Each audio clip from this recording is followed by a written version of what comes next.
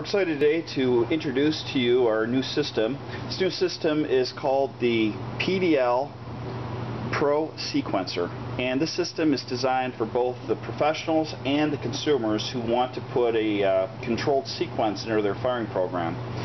This system has uh, a lot of little extras and I'd like to show that to you right now. The first big one is the system is manufactured right here in the United States. The key is here. It's got a on-off button also. This is, this indicator right here is the test and firing to turn the receiver on. And what makes this an interesting sequencer is normally, at least a lot of sequencers, you have to have a second firing system in the uh, loop in order to initiate the sequence. This one right here, you can still use it like that. If you have another firing system, you can go ahead and hook it up but this also has an independent receiver in there that will take a signal from one of your transmitters, transmitters sold with it. Uh, it's got two batteries. It's got a 6 volt battery which controls the receiver. It's got a 12 volt battery which controls the output. These can be daisy chained together to other modules on the sides you can see the pyro clips. This, if you wanted to use your own firing system instead of the built-in receiver, these would be the input. And then if you wanted to daisy chain these together, regardless of whether you're using the input or not, say for instance you had multiple of these or our other sequencer, you can go ahead, or even our 18Q firing system, and you wanted to initiate a program, this would be the output. And of course your pyro clips. This system is truly waterproof. We're going to go ahead and demonstrate that in a couple live fire exercises. Um, but to show you exactly the, uh, the times that I have programmed in it, we went ahead and we set it up so that, uh, see if I can zoom in on this.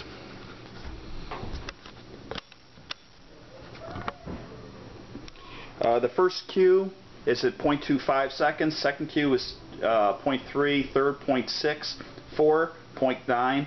The fifth cue is one full second. The sixth cue is 0.9. It's coming back down.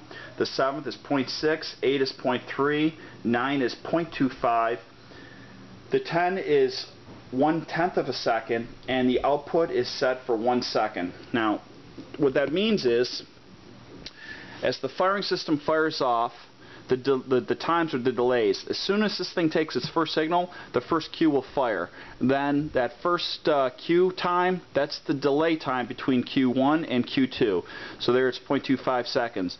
As it goes all the way through, when it finishes Q10, you can see the, uh, the time output there at one full second. And we're going to go ahead and uh, do a couple dry fires and then we'll take it outside and uh, I'll dump it in some water, and we'll fire off some E-matches. Okay, I went ahead and I programmed this system into those uh, cue times that I showed you on the white erase board. And basically what I'm going to do is I'm going to show you how to make the system ready to fire. And this is the transmitter. It's got an on-off. You're going to make sure it's on.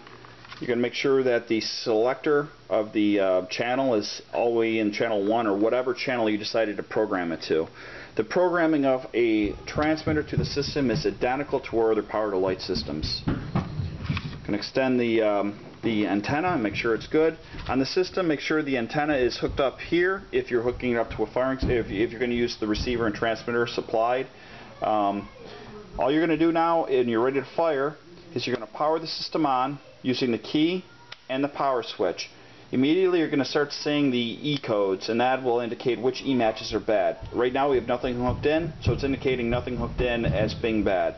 When you're ready to fire the last thing you're going to do is flip on the receiver. The red light comes on, you're now good to go. I programmed this system to button 1, we're going to fire it off. You can see it going through its, uh, its time. Now something I want to point out to you. Because a sequencer is out in the field, far away from everyone, you're not going to be able to see these LED lights light up. So, what we've done is we've put a power saving circuit into here, so after about a minute or a minute and a half of non-use, it's going to shut off the screen and it's going to basically disconnect the LEDs from the system. Now, it still fires off, it's just there's no need to have all those lights running when the system is down and locked because you're not going to be able to see it. That's why we've done that, and that'll help extend the life of this battery. So you can kind of set it up ahead of time, you know, 20, 30 minutes or so before the show.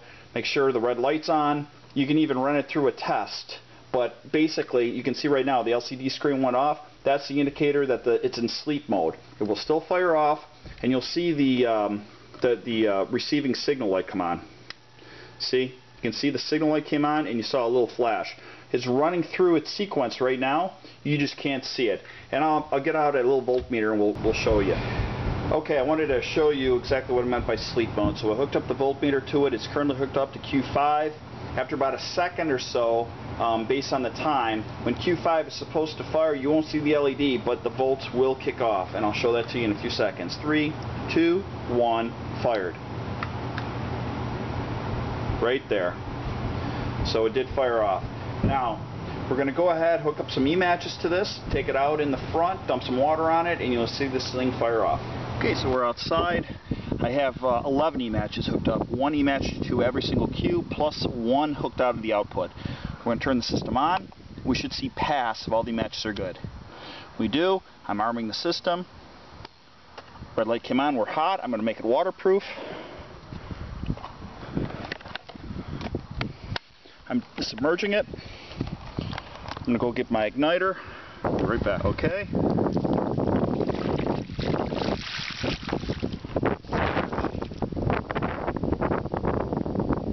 Firing in three, two, one. Whoop, actually, I should move this back, otherwise you won't see the igniters. Three, two, one, firing.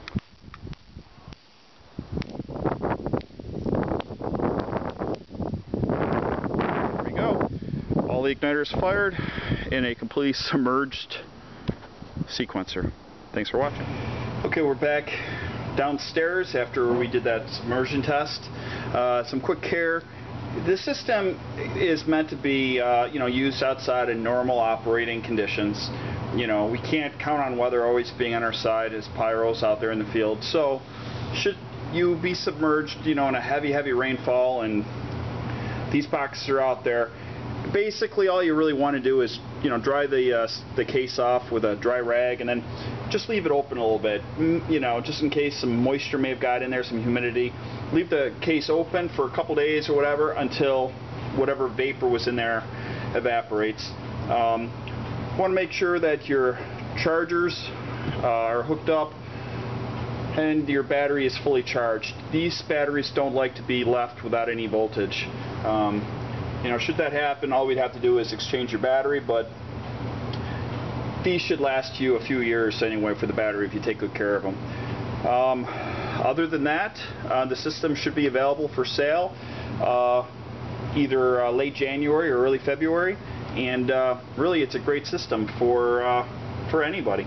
So thank you very much for watching.